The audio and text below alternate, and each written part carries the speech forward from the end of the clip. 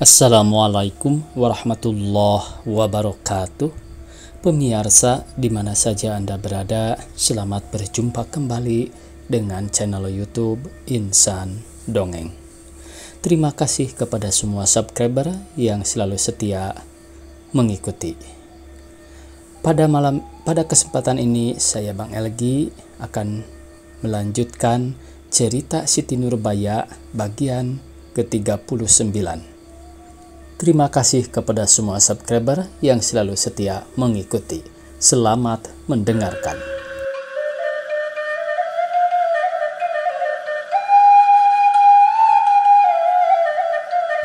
Supaya kita ketahui benar perkara ini, marilah kita turut tiap-tiap permufakatan itu pada suatu hari berkumpullah di kantor Residen Bukit Tinggi sekalian Tuanku Laras Keresidenan Padang Hulu, asisten-asisten residen dengan kemendur-kemendur dan aspiran-aspirannya pun ada serta hadir. Setelah cukup sekaliannya dalam majelis berdirilah Tuan Residen lalu berkata dalam bahasa Melayu Minangkabau, Tuan-tuan dan tuanku-tuanku sekalian yang hadir di sini, sebelum kami nyatakan pada ketika itu keresidenan Sumatera Barat sekarang ini masih terbatas atas dua keresidenan.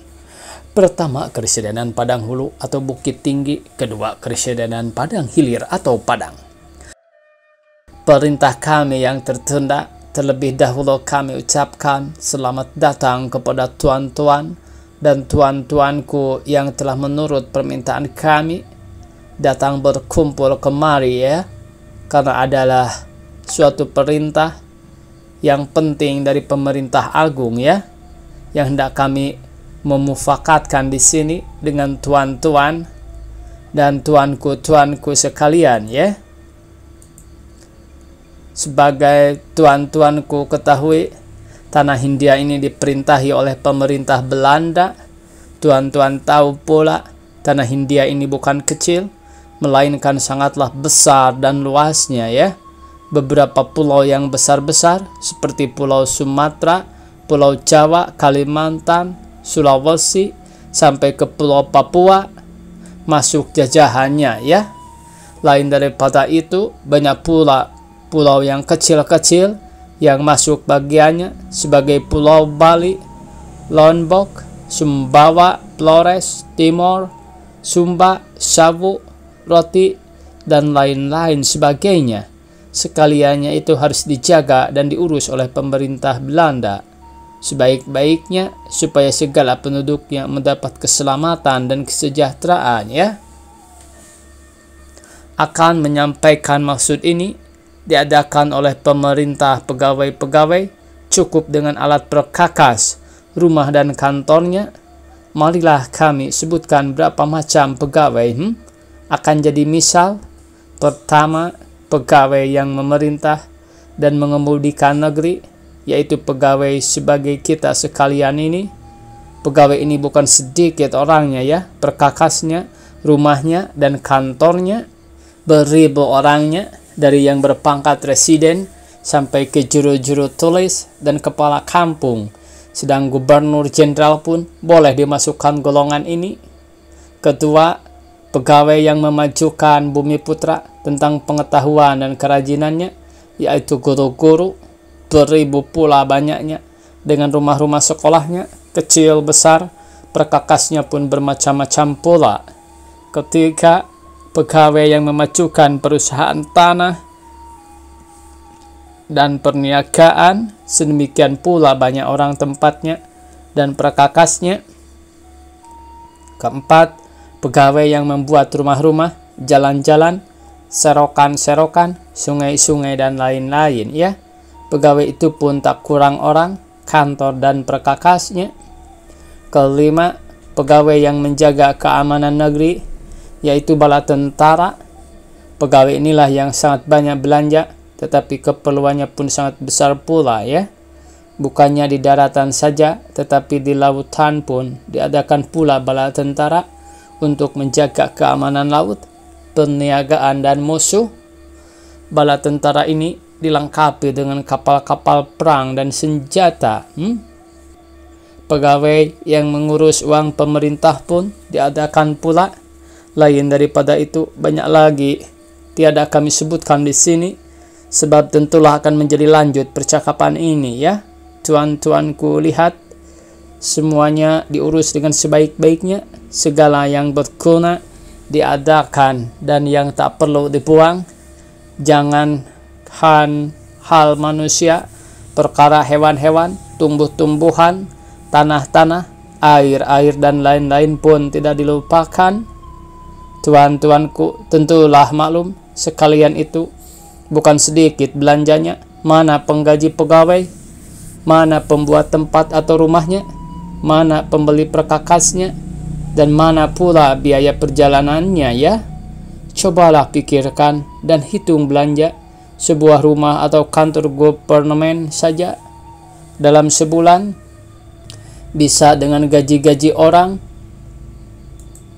dalam sebulan dengan gaji-gaji orang, biaya perkakas dan lain-lain sebagainya. Di situ barulah nyata bahwa belanja ini bukan sedikit ya. Berpuluh juta rupiah pemerintah harus mengeluarkan uang tiap-tiap tahun untuk biaya sekaliannya itu. Di manakah diperoleh uang yang sekalian banyaknya? Benar ada hasil dari tanah, dari kopi, dari perniagaan, dari ini dan dari itu. Tetapi hasil ini sekarang nyata tiada memadai ya. Bagaimana akal kini akan mencari uang penambah yang kurang ini? Bila tuan-tuanku di rumah tidak memakai tikar, kursi dan meja, siapakah yang harus membelinya? Tentu tuanku sendiri, bukan? Masakan dapat diminta kepada orang lain?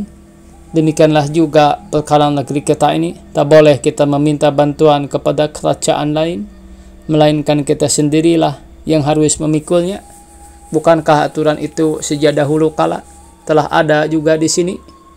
Segala sesuatu yang perlu bagi negeri, negeri itu sendirilah yang mengadakan dipungut dari anak negeri. Dahulu penghasilan yang kami sebut tadi memang cukup untuk membiayai sekalian keperluan tadi. Tetapi sebab keperluan itu makin lama makin bertambah. Sebab orang pun kian lama kian banyak pula. Sekarang hasil-hasil itu tak mencukupi lagi. Barangkali tambahan keperluan itu di sini belum nyata benar ya. Tetapi di negeri-negeri asing terang kelihatan. Sungguh pun demikian harus juga kita bersama-sama menolong Janganlah kita berpikir apa perlunya ditolong negeri asing itu. Sebab sebagai telah kami katakan tadi ya, sekalian pulau yang masuk tanah Hindia menjadi satu, biar bangsa Melayu atau Jawa, Daya atau Papua, Belanda ataupun Cina, sekalian penduduk Hindia ini harus menjadi satu dan harus bersama-sama memajukan tanah kita. Janganlah tiada percaya bahwa segala yang diperbuat di negeri lain membawa hasil juga ke mana-mana ya. Lihatlah sekolah dokter Jawa diadakan hanya di tanah Jawa, tetapi bukan orang Jawa saja yang beroleh hasil dari sekolah itu. Orang Minangkabau, orang Batak, Manado, Ambon dan lain-lain pun dapat pula belajar di sana untuk menjadi dokter dalam sekolah raja di sini bukannya bangsa Minangkabau saja yang dapat menuntut ilmu guru tetapi orang Tapanuli, Aceh, Palembang, Lampung, Bengkulu sampai ke Pontianak dan Sambas pun boleh juga ya. Demikian pula lah perbaikan-perbaikan yang diadakan di negeri lain-lain itu tak dapat tiada mendatangkan kebaikan juga kepada kita di sini. Oleh sebab itu diputuskanlah oleh pemerintah agung sekalian penduduk tanah Hindia ini haruslah bersama-sama membantu kekurangan ini. Yang miskin tentulah sedikit, yang kaya banyak. Uang bantuan itu dinamakan uang blasting, dibayar tiap-tiap tahun, jadi tak ada ubahnya dengan uang zakat dan fitrah. Hanya uang blasting dipakai untuk keperluan kita bersama dan bukan dihadiahkan kepada orang miskin untuk keperluan mereka itu sendiri. Blasting ini telah dijalankan di mana-mana, baik di negeri di atas angin atau di negeri di bawah angin. Sedang di tanah Hindia ini pun hampir pada segenap tempat dan sekalian penduduknya menerima aturan ini dengan rela. Hanya di Minangkabau inilah yang belum lagi, tuan kuanku. Tentu maklum bila orang di sini dibebaskan dari blasting itu, perbuatan pemerintah ini niscaya tidak adil, berat sama dipikul, hmm? ringan sama dijinjing. Tambahan pula bila orang di sini suka menuntut aturan ini dengan senang hati, Pemerintah suka membebaskan orang Minangkabau daripada kontrak menjual kopi kepada gubernmen, sehingga kopi boleh dijual kepada orang lain dengan harga 5 atau 6 kali lipat ganda. Apalagi kalau dipikir benar-benar ya, nyatalah kontrak menjual kopi itu pada masa ini tiada adil lagi, tak sesuai dengan zamannya, karena timbanglah siapakah yang bertanam kopi dan menjualnya ke gedung departemen? Bukankah orang-orang peladang, artinya orang-orang miskin, orang-orang kaya, saudagar-saudagar, adakah berbuat demikian? Tidak. Jadi siapakah yang membayar blasting pada hakikinya? Bukankah si miskin, si kaya bersenang-senang saja? Inilah maksud kami meminta datang tuanku sekalian kemari supaya disampaikan pemerintah ini kepada anak negeri dengan diterangkan apa sebabnya dan apa gunanya uang blasting itu. Mengerti benarlah hendaknya mereka tentang perkara ini supaya jangan sampai mereka berpikir uang itu diminta sekedar hendak memenuhi kantung orang Belanda. Sekali-kali negeri tiada beroleh hasil dari blasting ini, melainkan kita yang di sini jugalah Lagi pula, janganlah salah sangka ya, sekalian kami bangsa Belanda yang ada di sini ialah pegawai government sebagai tuan-tuanku juga. Dan yang government itu bukanlah bangsa Belanda atau kerajaan Belanda sekali-kali tiada lain melainkan penduduk tanah Hindia ini. Bangsa Belanda di sini sekadar memerintah menolong mengatur ya. Pada rasa hati kami cukuplah itu untuk menerangkan maksud kami. Bila ada di antara tuan-tuan dan tuan-tuanku yang merasa apa-apa tentang perkara ini, keluarkanlah supaya dapat diperbincangkan bersama-sama ya. Lalu residen duduk di atas kursi bernanti adakah orang yang hendak berkata atau tidak. Tetapi seorang pun tiada yang hendak mengeluarkan pikirannya tentang hal ini. Setelah berdiam-diam sejurus bertanya pula residen, Tak adakah orang yang hendak berkata apa-apa tentang hal ini? Tatkala itu berdirilah seorang tuanku laras yang tertua daripada sekalian laras yang hadir, lalu memberi hormat kepada residen dan segala yang hadir dalam majelis itu. Kemudian berkata ia, Sepanjang pikiran hamba yang tua ini, tak adalah yang akan dijawab lagi dalam perkara ini. Karena sekaliannya telah diputuskan oleh pemerintah agung, walaupun ada yang terasa dalam hati kami, terkalang di mata kami, tetapi pada sangka hamba tak ada faedahnya diperkatakan lagi, sebab tak dapat mengubah aturan yang telah ditetapkan itu. Tak ada yang lain yang dapat kami perbuat dalam hal ini, melainkan kami sampaikan perintah ini kepada anak negeri, serta kami terangkan kepada mereka guna dan sebabnya diadakan blasting itu seboleh-bolehnya kami akan berdaya upaya supaya anak negeri menurut peraturan ini.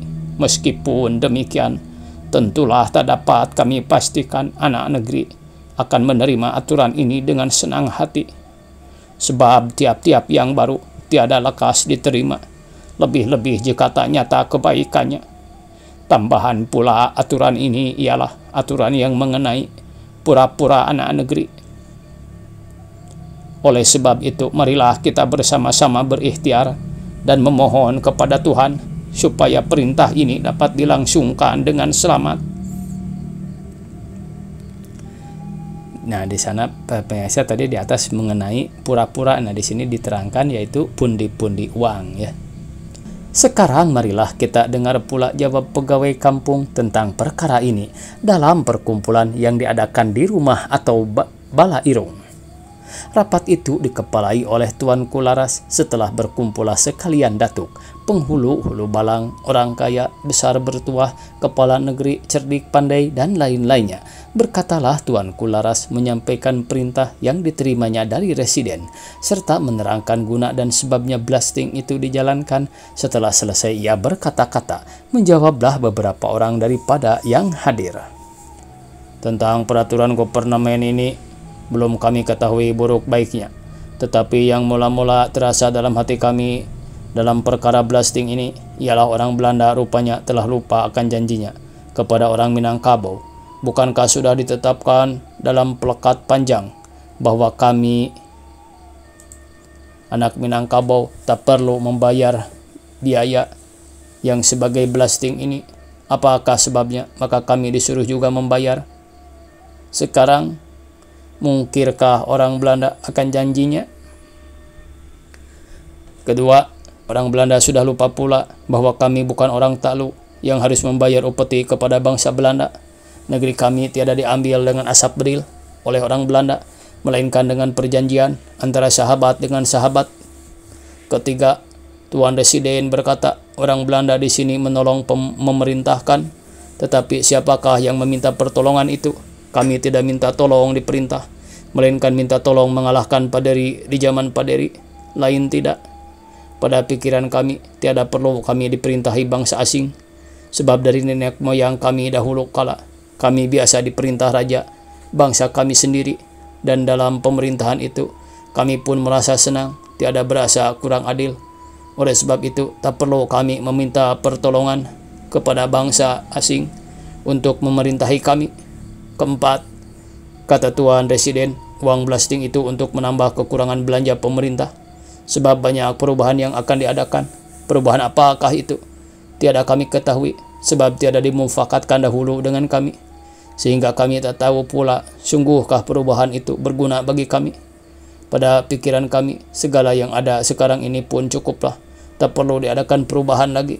Adapun perubahan, bukannya untuk kami saja, hanya terutama untuk mereka yang berpangkat tinggi yang kaya dan orang kota. Kelima, Tuan Residen berkata sendiri, keperluan kita tak boleh diminta kepada orang lain. Mengapakah tidak tiap-tiap kampung atau negeri mengadakan keperluannya sendiri-sendiri? Mengapakah kami harus menolong orang Selebes, Timor dan Papua? Melihat rupanya pun kami belum, dan siapakah yang akan menanggung? Mereka itu kelak akan menolong kami pula bila kami dapat kesusahan atau ada keperluan apa-apa. Keenam, Tuan Residen berkata, kita sekalian ini yang governemen bukan bangsa Belanda. Mengapakah segala sesuatu diputuskan dan diperbuat oleh orang Belanda saja? Suara anak negeri sekali-kali tiada didengar. Perkara blasting ini pun tiada dimufakatkan dahulu dengan kami. Setelah terjadi, disuruh kami menurut dengan tiada boleh mengatakan tidak. Bagaimanakah kami namanya itu? Orang yang diperintahkan atau orang yang memerintah? Ketujuh, dikatakan ada pegawai yang membuat rumah, jalan dan lain-lain. Rumah siapakah yang dibuatnya? Rumah kami, kami sendiri yang membuat. Jalan pun kami pula yang mengerjakan. Apa faedahnya pegawai-pegawai yang diadakan itu untuk kami? Pegawai perusahaan tanah belum kami ketahui di sini dan orang itu tak ada perlunya bagi kami. Apakah yang akan diajarkannya kepada kami? Bertanam padi. Telah diketahui nenek moyang kami beratus tahun yang telah lalu. Perkara hewan, kerbau kami kembang biak juga, walaupun tiada dipelihara benar-benar. Dari dokter itu, adakah ia sampai mengobat ke kampung-kampung kami? Hanya di kota itulah ia tinggal, di tempat orang yang kaya-kaya. Kami anak kampung, miskin, tak cakap membayar upahnya. Eh, waktunya habis pemirsa. Dicukupkan sekian. Semoga esok kita bisa berjumpa kembali. Billahi taufik wal hidayah. Wassalamualaikum warahmatullahi wabarakatuh.